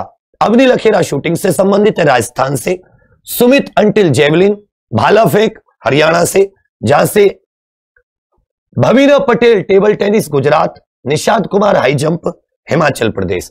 Yogesh Kathuniya, ये पाँच जो सिल्वर है इनमें, निषाद, भावीना, उसके बाद में योगेश, डिस्कस थ्रो दिल्ली, देवेंद्र झाझरिया, राजस्थान भाला फेंक, और मरियप्पन थंगावेलू, हाई जंप, तमिलनाडु। जबकि तीन जो ब्रॉन्ज मेडल आए, सुंदर सिंह गुजर, जेवलिन थ्रो तो जेवलिन थ्रो में एक गोल्ड, एक सिल्वर, एक ब्रॉन्ज। सिंहराज अधाना शूटिंग हरियाणा और शरद कुमार हाई जंप बिहार। तो हाई जंप में भी आप ये कह सकते हो कि हाई जंप में दो सिल्वर हाई जंप में कितने सिल्वर है? दो सिल्वर और एक हो जाता है आपका ब्रॉन्ज जबकि शूटिंग में एक हो जाता है आपका, क्या नाम है? ब्रॉन्ज और एक हो जाता है शूटिंग में गोल्ड मेडल तो सुमित अंटिल हरियाणा, इन्होंने भाला फेंक में, जबकि अवनी लखेरा, राजस्थान शूटिंग में इन्होंने गोल्ड जीता है। जबकि सिल्वर एक हो जाते आपके भावीना, निषाद कुमार, योगेश, देवेंद्र झाझरिया, मरियप्पन थंगावेलू, सुंदर सिंह गुजर, सिंहराज अधाना और शरद कुमार। इन्होंने साथ ही ब्रॉन्ज मेडल, कुल दस मेडल, दो, पाँच और तीन। 2012 लंदन पैरालंपिक्स में एक मेडल 2016 रियो में चार और साथ ही अब 2021 टोक्यो 2020 पैरालंपिक्स में कुल मिला के दस मेडल। इसको कह सकते हैं कि भारत के पैरालंपिक पैरालंपियन जो है वो कड़ी मेहनत कर रहे हैं भारत के लिए मेडल लाने के लिए। चलिए आगे आ जाते हैं। किस राज्य अथवा केंद्र शासित प्रदेश में 18,600 फीट की ऊंचाई पर दुनिया की सबसे ऊँची मोटर योग्य सड़क खोली गई जिसका उद्घाटन वहाँ के एमपी ने किया है? तो याद रखिएगा लद्दाख में। लद्दाख में 18,600 फीट की ऊंचाई पर वर्ल्ड हाईएस्ट मोटोरेबल रोड सबसे ज़्यादा जहाँ पर सबसे ऊँची वाहन चलाए जा सकते हैं, या आप ये कह सकते हैं कि आप गाड़ी वगैरह चला सकते हैं। लद्दाख में अठारह हज़ार छह सौ फीट की ऊंचाई पर लेह को पेंगोंग झील से जोड़ती है। दुनिया का सबसे ऊँचा मूविंग थिएटर मूवी थिएटर, जहाँ पर फ़िल्में दिखाई जाती हैं यह भी लद्दाख में है। यह भी कहाँ पर है साथी? लद्दाख में। चलिए। इससे पहले जो बेस कैंप जो है एवरेस्ट का, उसके ऊपर भी बीआरओ ने 19,300 फीट की ऊंचाई पर जहाँ पर साथी उमलिंगला है वहाँ पर भी एक रोड अगस्त के शुरुआत में इन्होंने खोली थी बॉर्डर रोड ऑर्गेनाइजेशन ने। आगे जाते JB Mohapatra. JB Mohapatra CBDT Central Board of Direct Taxes जो केंद्रीय प्रत्यक्ष कर बोर्ड होता है उसके अध्यक्ष में। देखिए साथी डायरेक्ट टैक्सेस जो होते हैं प्रत्यक्ष कर जो होते हैं ये ऐसे कर होते हैं जो डायरेक्ट आप सरकार को देते हो। जैसे इनकम टैक्स। भाई, इनकम टैक्स जो होता है, उसे आप सरकार के खाते में डायरेक्ट जमा करवाते हो तो इसको डायरेक्ट टैक्स बोलते हैं। इसी तरह कॉरपोरेट टैक्स, जिसको निगम कर बोलते हैं, कॉरपोरेशन टैक्स, जो कंपनी आदि पे करती हैं। यह क्या हो जाता है साथी आपका? यह भी डायरेक्ट टैक्स होता है। जबकि अप्रत्यक्ष कर की बात करें कि जिससे आप सामान खरीदते हुए दुकानदार को देते हो और दुकानदार सरकार को देता है। जैसे जीएसटी जैसे जीएसटी आदि जो होते हैं, ये इनडायरेक्ट या अप्रत्यक्ष कर होते हैं। तो जेबी महापात्रा सीबीडीटी के नए अध्यक्ष CBDT Central Board of Direct Taxes के नए अध्यक्ष। अमेजन इंडिया जो अमेजन नाम की कंपनी है, इसका जो इंडिया वाला हिस्सा है इंडियन उसने कारीगर मेला शुरू किया है। ट्राइब्स इंडिया, ये आदिवासी जो सामान होता है, उसकी बिक्री करने के लिए जाने जाते अमेजन उन्नीस सौ चौरानवे में बनी थी, तब इसका नाम हुआ करता था कैडेबरा। तब क्या नाम हुआ करता था कैडेबरा? इसके एग्जीक्यूटिव चेयरमैन तो जेफ बिजोज हैं, जबकि वर्तमान सीईओ पाँच जुलाई से एनडी जैसी हो जाते हैं। एनडी जैसी क्या हो जाते हैं? इसके वर्तमान सीईओ हो जाते हैं। अमेजोन कंपनी याद रखिएगा साथी ट्राइब्स इंडिया के साथ कारीगर मेला। तो क्वेश्चन पूछेगा कि कारीगर मेला, ये किस टेक जाइंट या किस बड़ी कंपनी ने लॉन्च किया है? तो ट्राइब्स इंडिया के साथ मिलकर अमेजन इंडिया ने यह कारीगर मेला शुरू किया है। चलिए। भारतीय सेना रूस, भारत की नागा रेजिमेंट तीन से सोलह सितंबर जैपिड नाम के एक सत्रह देश इसमें भाग ले रहे हैं। सत्रह देश इसमें भाग ले रहे हैं रूस के साथ। जिसमें भारत भी एक होगा। इस एक्सरसाइज का नाम होगा जापेड। और इसमें भारत की ओर से नागा रेजिमेंट भाग ले रही है। भारत की ओर से नागा रेजिमेंट इसमें भाग ले रही है। भारत की ओर से नागा रेजिमेंट के फौजी इसमें भाग ले रहे जापेड 2021 कितने सत्रह देशों की है? सत्रह देशों की ये एक्सरसाइज है, जिसमें भारत तीन से सोलह सितंबर तक रूस के एक निजरी नाम की जगह है। वहाँ पर यह आयोजित की जा रही है, रूस में। याद रखिएगा, इंद्र एक्सरसाइज भी रूस में आयोजित की गई। इंद्र एक्सरसाइज भी कहाँ पर आयोजित की गई है? यह भी साथी रूस में आयोजित की गई है। यह एक्सरसाइज भी रूस में आयोजित की गई है। बिल्कुल सही। इसके अलावा आप यहाँ पे कह सकते हैं? कि सऊदी अरब के साथ भी एक्सरसाइज आयोजित की गई है। भारत और सऊदी अरब की, भारत और सऊदी अरब, Al Mohed Al Hindi 2021 Al Mohed Al Hindi, Al Mohed Al Hindi 2021 ये एक्सरसाइज ये सऊदी अरब के साथ, जबकि संयुक्त अरब अमीरात के साथ जायद तलवार। जायद तलवार। आगे आ जाते हैं। सात मंत्री काम के दौरान ब्रेक लो तो आप योगा कर सको। इसके लिए योगा ब्रेक, वाई ब्रेक नाम की एक एप्लीकेशन लॉन्च करेंगे। वाई ब्रेक नाम की एक एप्लीकेशन लॉन्च करेंगे। भारत के सात मंत्री मिलकर। यह एप्लीकेशन जो बनाई गई है, इसमें छोटे छोटे योगा के इसमें पोस्चर होंगे। योगा के जो कैसे योगा किया जाए अगर आप काम के दौरान ब्रेक लेना चाहते हैं, वाई ब्रेक ऐप, इसको सात मंत्री, जिसमें केंद्रीय आयुष मंत्री, योगा मंत्रालय जो होता है जिसके अंतर्गत, सर्बानंद सोनोवाल, उसके अलावा स्वास्थ्य मंत्री मनसुख मंडाविया, कानून और न्याय मंत्री किरण रिजिजू, सूचना प्रसारण, खेल एवं युवा मामलों के मंत्री अनुराग ठाकुर, विज्ञान और प्रौद्योगिकी राज्य मंत्री जितेंद्र सिंह, पर्यटन और संस्कृति, मीनाक्षी लेखी और आयुष मुंजपारा कालू भाई, ये राज्य मंत्री हैं। इन्होंने ये सात मंत्री मिलके लॉन्च करेंगे। वाई योगा मतलब जिसको आप ये कह सकते हो कि yoga break app yoga break app आगे आ जाते अफ्रीकी मूल के लोगों के लिए अंतरराष्ट्रीय दिवस। अफ्रीकी मूल के लोगों के लिए अंतरराष्ट्रीय दिवस, जो अफ्रीकी डिसेंट के लोग हैं। हालाँकि कहते हैं कि सारे के सारे मानव अफ्रीका से निकले। ये 31 अगस्त को मनाया जाता है। ये कब मनाया जाता है साथी? 31 अगस्त को मनाया जाता है। अफ्रीकी मूल के लोगों के लिए अंतरराष्ट्रीय दिवस। अफ्रीकी मूल के लोगों के लिए अंतरराष्ट्रीय दिवस। अब थोड़ा सा आप लोग समझिएगा। थोड़ा सा यहाँ पर रिवीजन सा मार देते हैं। अल मोहेद अल हिंदी। ये किसके साथ होती है? अल मोहेद अल हिंदी। चलिए। काजिंद पाँच एक्सरसाइज किसके साथ हुई है? खंजर आठ एक्सरसाइज ये किसके साथ हुई है? खंजर आठ। दस्तलिक एक्सरसाइज ये किसके साथ होती है? दस्तलिक एक्सरसाइज ये किसके साथ होती है? दस्तलिक दो। ये कहाँ पर हुई है? किसके साथ होती है? उसके बाद में जायद तलवार। जायद तलवार एक्सरसाइज जायद तलवार एक्सरसाइज इसके बारे में आपको बताना है। जेपेड एक्सरसाइज जेपेड 2021 जेपेड 2021 ये किसके साथ हुई है? जेपेड 2021 उसके बाद में बताना International Astronomical Union JB Mohapatra आज क्यों चर्चा में थे?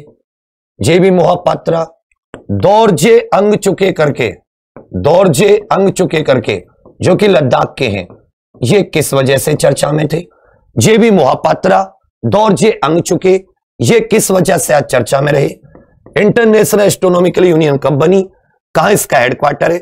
ये भी आप सभी लोगों को बताना है।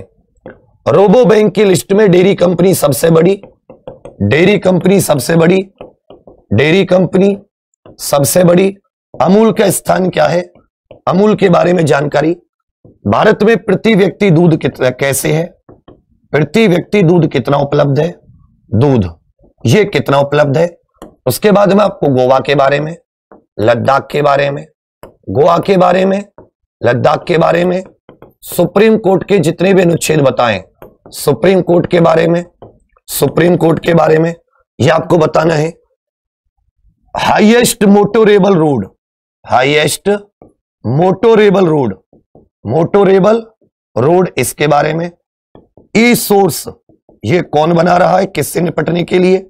ई सोर्स ये कौन बना रहा है? और आपको यह भी बताना है कि ये किससे निपटने के लिए बनाया जा रहा है। ये किससे निपटने के लिए साथी बनाया जा रहा है? पैरालंपिक्स में भारत की स्थिति पैरालंपिक में भारत की स्थिति यह भी आपको बतानी है। पैरालंपिक में भारत की स्थिति क्या है? यह भी आपको बताना है साथी। भारत की स्थिति क्या है यह भी आपको बताना है। वाई ब्रेक ऐप यह किससे संबंधित है? वाई ब्रेक ऐप यह किससे संबंधित है? 31 अगस्त को किन लोगों का दिन मनाया जाता है? 31 अगस्त को किन लोगों का मनाया जाता है? 31 अगस्त को किन लोगों का दिन मनाया जाता है? आगे आ जाते साथी। बिल्कुल सही। कारीगर मेला यह किस कंपनी का सिस्टम है? कारीगर मेला यह कौन सी कंपनी आयोजित कर रही है? किसके साथ मिलकर? कारीगर मेला यह कौन सी कंपनी किसके साथ मिलकर आयोजित कर रही है? पंकज कुमार सिंह यह किस पद पर इनकी नियुक्ति हुई है? संजय अरोड़ा, ये किस पैरामिलिट्री फोर्स के डीजी बने हैं? संजय अरोड़ा, ये किस पैरामिलिट्री फोर्स के डीजी बने हैं? आगे आ जाता है एनसीआरटी की स्थापना कब हुई है? और इसके मुखिया कौन है? एनसीआरटी की स्थापना कब हुई है? और साथ ही इसके मुखिया कौन है? एनसीआरटी की स्थापना कब हुई है? और इसके मुखिया कौन हो जाते हैं? बिल्कुल सही। बिम्स्टेक के बारे में आपको बताना है। बिम्स्टेक के बारे में आपको बताना है। सिक्स ईस्टर्न इकोनॉमिक फोरम की कहाँ पर कौन इसकी मेजबानी कर रहा है? कहाँ पर और कौन इसकी मेजबानी कर रहा है। बिम्स्टेक के बारे में। यह भी आपको बताना है। बिल्कुल सही। गोवा सुप्रीम कोर्ट और लद्दाख। ये तो आपको बताना ही है कि लद्दाख के पशु पक्षी कौन बने तो देखिए, ये सऊदी अरब, कजाकिस्तान, किर्गिस्तान, उज्बेकिस्तान, यूएई, ये तो इतना बड़ा का बता देना। लद्दाख, आईआईटी मद्रास, दस पदक, दो, पाँच, तीन, चार सौ सात ग्राम उन्नीस सात देश, उन्नीस सौ इकसठ ऋषि के सेनापति, त्रिभुवन दास पटेल संस्थापक, Sanjay Arora ITBP Pankaj Kumar Singh BSF EEF रूस व्लाडिवोस्टोक में, कारीगर मेला अमेजन ट्राइब्स इंडिया के साथ अफ्रीकन लोगों का दिन, वाई ब्रेक ऐप सात मंत्री, काम के दौरान ब्रेक लेने के लिए, जयपेड रूस सत्रह देश, उन्नीस सौ उन्नीस Paris, JB Mohapatra CBDT IAU International Astronomical Union अंतरराष्ट्रीय खगोलीय संघ के मानद सदस्य, पहले भारतीय। डेयरी कंपनी लैक्टेलिस फ्रांस की नंबर एक, अमूल अठारहवें नंबर पर, अठारहवें नंबर पर। इस तरीके से ये आपका हो जाता रिवीजन अब और ज़्यादा डीपली रिवीजन जो मैंने एक्स्ट्रा चीज़ें कराई हैं, उसके लिए हमारे टेलीग्राम चैनल है विशेष। एक सेकेंड रुके रहना, जाना मत। जिसका नाम क्या है? The Golden Army current affairs इसमें अड़सठ उनहत्तर हज़ार लोग हैं जुड़े हुए। उस वाले को करना। इसमें आपको पूरे दिन सौ, डेढ़ सौ क्वेश्चन की हम लोग प्रैक्टिस कराते हैं। जो लोग डेली इसमें से प्रैक्टिस करते हैं, उनको पता है कि जितना भी मैंने पढ़ाया है, इसमें से टॉप तीन सौ सौ डेढ़ सौ क्वेश्चन लगा के हम इसकी प्रैक्टिस करते हैं। आज है दो सितंबर और आप सभी जानते हैं भी सुबह। दो सितंबर आज सुबह नौ बजे आपके ग्रामीण विकास का पहला चैप्टर भूमि मापन शुरू हो जाएगा। लेखपाल के लिए इसको देखना मत भूलना। ग्रामीण विकास भूमि मापन, ये आपका साथी शुरू हो जाएगा। भूमि मापन क्या हो जाएगा? ये शुरू है आज से तो आप लोग इस क्लास को छोड़ना मत। ये आपकी बहुत इंपॉर्टेंट क्लास है, दो सितंबर। शाम को छह बजे से आपकी मूल विधि है एस भी है। बाकी अपनी जीडी हो यूपीएसआई हो यूपी लेखपाल हो एनटीपीसी सीबीटी टू हो ग्रुप डी हो, ये सारी क्लासेस आपकी एग्ज़ाम पर पे स्टार्ट हो चुकी है। कुछ पाँच सितंबर से हो जाएँगी। और पाँच सितंबर लेखपाल का थ्योरी बैच सुबह ग्यारह बजे, विजेता बैच उसको देखना बिल्कुल भी ना भूलें। ये रात को दस बजे संजीत सर मिक्स इसमें साइंस वगैरह भी ले लेते हैं, बहुत बढ़िया रिवीजन कराते हैं। और ज़बरदस्त, अगर कोई मन से डेली क्लास ले रहा है तो पेपर में 90 परसेंट प्लस हमेशा पाएगा वो, बहुत अच्छे से। और एक दो महीने की जो लास्ट के पंद्रह बीस दिन की क्लास होती है, ब्रह्मास्त्र टाइप उन्हीं में से लगभग अस्सी परसेंट के करीब अपनी चीज़ों को बंदा पा लेता है। तो आप लोगों से भी एक रिक्वेस्ट है कि आप सभी लोग जिसने सब्सक्राइब नहीं किया हो अपने एग्ज़ाम्पल को तुरंत आप अपने एग्ज़ाम्पल को तुरंत सब्सक्राइब कीजिए। जिसने सब्सक्राइब नहीं किया एग्ज़ाम्पल को, अभी कर लीजिए अभी जो आप लोग वीडियो देख रहे हैं। वीडियो को लाइक ज़रूर करके जाना। इससे पुण्य मिलता है। शेयर ज़रूर करना इसका लिंक बच्चा। बाकी आप लोग बस कमेंट बहुत कम करते हो। अगर आप कमेंट बेशक आप लोग कम देखने आओ, लेकिन कमेंट्स ज़रूर करके जाओ। क्लास आपको कैसी लग रही है? जिससे मुझे भी पता चले कि मैं जो कंटेंट आपको दे रहा हूँ, ये सच में आपको अच्छा भी लग रहा है। या सिर्फ़ आपको अच्छा नहीं लग रहा तो फिर क्या फ़ायदा उस चीज़ को देने का? क्योंकि आप उससे इग्नोर कर दोगे, आप उसे लिख लिख के नहीं पढ़ोगे। लेकिन अगर आपने लिख लिख के ढंग से पढ़ा, कोई नहीं रोक सकता। सीबीटी टू लेखपाल के कुछ बैचेस हमारी एग्ज़ाम पर ऑफिशियल ऐप पर अवेलेबल है। आप उन्हें ज़रूर लीजिएगा, जिससे हमें मज़बूत होने में मदद मिलती है। बाकी, मेहनत कीजिए। मेहनत का कोई विकल्प नहीं है, और मेहनत एक ऐसी चीज़ है, हमेशा आपको दे के जाएगी। समय लगेगा आपका, लेकिन वो समय आपको कुछ बना जाएगा। और हम सबका लक्ष्य ही एक है। इस बार कैसे एक? सरकारी नौकरी अपने हाथ में होनी चाहिए। तो सभी लोग लाइक ज़रूर करना शेयर करके जाना सब्सक्राइब करके जाना और अपनी एग्ज़ाम पर ऑफिशियल ऐप को अभी डाउनलोड कर दीजिए।